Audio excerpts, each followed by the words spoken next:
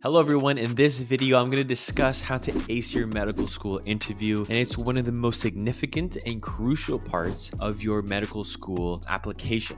Alright, so being sociable and likable is good, but it does not necessarily equate to a positive interview experience all the times. And interviews may be a stressful experience, there's no doubt about it. And to be honest, most of us, including myself, feel the same way about interviews, and at least at first when you haven't had much experience with them. I know I was extremely stressed. My heart was racing when I had my interview. So perhaps you've been browsing the internet, or maybe you've asked all your pre med classmates about their virtual interview experiences to see how it went, right? But finding useful information isn't always easy. But that's exactly why I created this video. I'm here to assist you with your preparation for your medical school interview. So what I've done is I've gone ahead and compiled a thorough list of a top seven interview tips.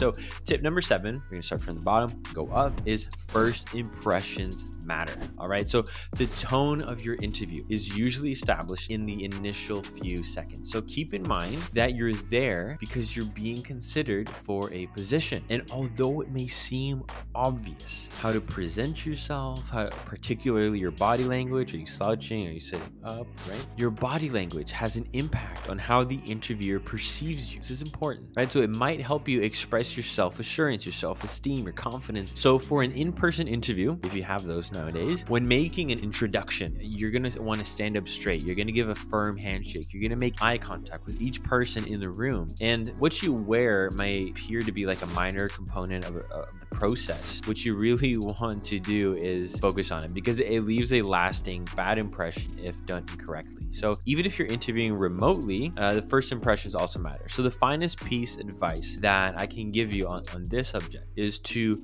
dress how you would like to see your doctor dressed. Okay, so you don't have to be boring, but you also shouldn't go overboard. Don't go wearing the rainbow. Don't go with super bright colors. Just be be normal, be formal. So for an online interview as well, because those are more popular, make sure to have a clean background, a well-lit room, turn off your notifications on your phone, tell your family that you're gonna be busy, put the dog away, put the cat in the cage. You don't want anybody um, bothering you. Okay. All right, tip number six read the GMC's ethical guidance. So, I actually didn't do this uh, my time, I didn't know about it, but you only have up to three interviews here in Ottawa at least to prove that you're eligible to become a doctor to get into the school. So, I strongly advise that everybody that's trying to get in read the book Doing Right or study the ethical guidance for doctors, which is a paper published in the General Medical Council, which I think is a UK thing. I'm going to leave a link in the description or you can search it up. You'll have clear knowledge of the function of a doctor by the end of it, and you'll be able to start speaking like one in your medical interview. And don't forget to recognize, like, bring this up the fact that doctors are actually teachers. Like, that's the root word. If you look into the Greek, it means teacher. So, kind of learn about those things and use that to your advantage. All right, moving on. Point number five is prepare.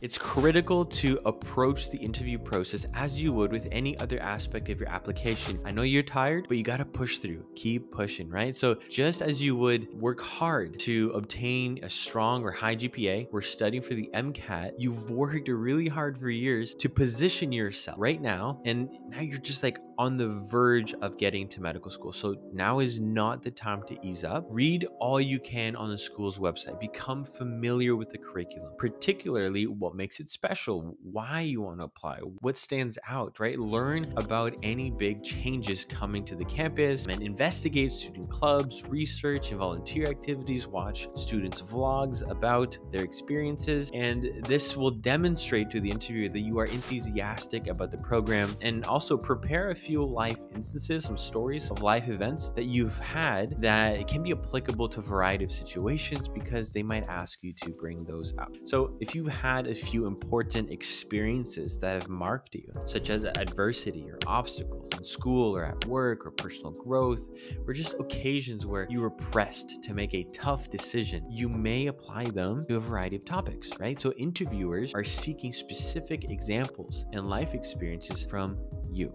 So instead of delivering imprecise or abstract replies, you can respond to a question with your personal narrative, and that's the best thing to do. Okay, so you can make it simpler to answer unexpected questions if you have a collection of meaningful experiences to draw from. All right, so moving on to point number four, it's familiarize yourself with medical ethics. I'm gonna go a little bit deeper here, and I've talked about this in previous videos, and I'll link some resources. But you'll be asked a lot of questions that will put your comprehension of ethical notions and principles to the test. Trust me which should have evolved, right? Your your understanding should have evolved organically over time. You should prepare for these sorts of questions by being more aware of professional and medical ethics and understanding how to apply them in a variety of real life circumstances. So reading a few books on the subject is going to help you comprehend these topics better. So the ethical dilemmas you'll confront uh, will almost certainly be like this, for example, non-maleficence. So there's also some of those CanMed roles that you would want to learn about. Just Google that, you find out what it is. So make sure you're familiar with these ethical ideas and how to apply them in real life circumstances, right? So the best approach to achieve this is to create an ethical mentality over time by assessing the moral implications and ethical outcomes of each circumstance you encounter in your everyday life. So test your ethical understanding by practicing your answers to these ethical questions from prior year's interviews. You can find questions on Reddit, you can find questions on YouTube just practice, practice, practice. So I'm going to link some resources with practice ethical questions in the description. Make sure to try those out. The more, the better. All right, moving on to point number three is refine your communication style. So it's critical to be conscious of how you talk when practicing and to concentrate on increasing your general eloquence and coherence when you pronounce words, when you put a story together, not be stumbling.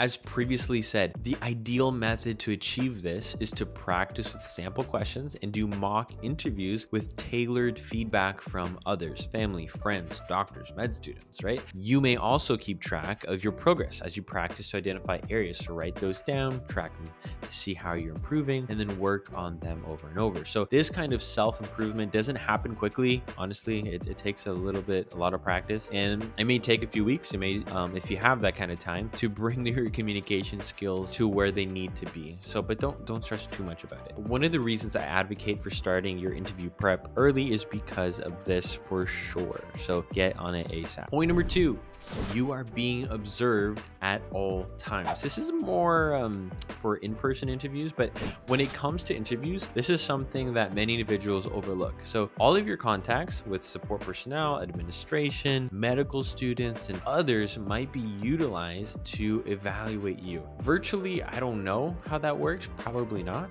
But on interview day, if you're going in person, remember to be polite, to be cheerful with everyone that you encounter, because that can only help you, right? Having bad behavior can be pretty harmful. I trust that you're not that kind of person if you're getting interviewed to medical school. So don't be arrogant, don't be prideful, right? So everyone you encounter should be treated with respect and kindness and consider the entire day to be an interview until, until you leave that building, right? So present yourself in the best light possible at all times. Moving on to the last tip. Tip number one is mock interview. So a practice run is the greatest way to feel prepared in an interview. So mock interviews, if put on by university's career center, you should take advantage of it. U Ottawa does that. It's an extremely valuable resource. And having a buddy conduct an interview with you might also be a good approach to gather feedback on topics like your body language, how you pronounce words, etc. Right? So mock interviews are the closest thing that you can get to the real